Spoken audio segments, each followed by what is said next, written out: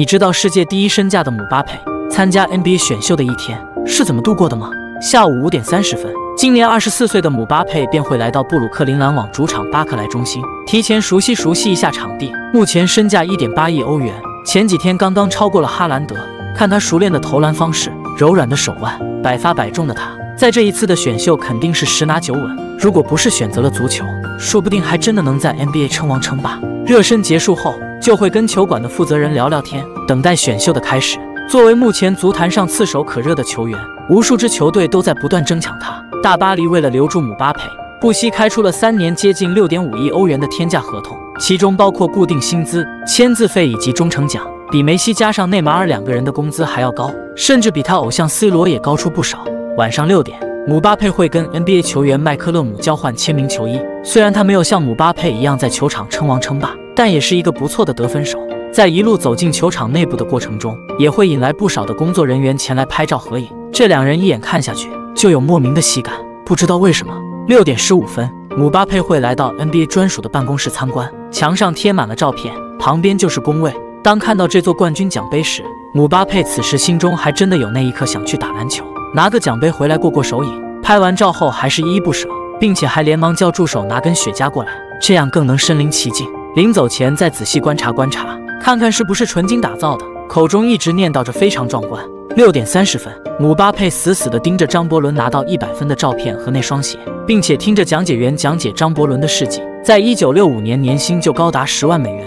而姆巴佩头也不回就走了。姆巴佩表示，他现在一星期能拿二十万美元。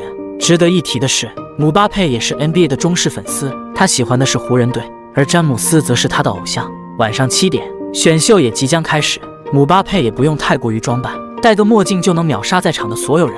首先会来到镜头前拍个三百六十度的全身照和视频，看着旋转的摄影师，姆巴佩都不知道摆什么 pose，就比个耶吧，最后再比个六六六。普通人可能拍完直接就走。而姆巴佩还要回来检查拍的帅不帅。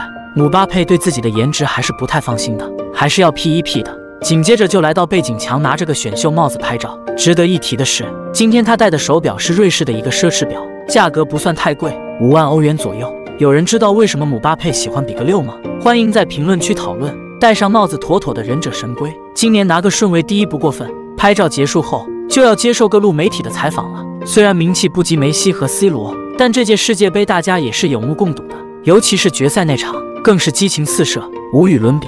下半场的两个进球，差点没把人吓尿。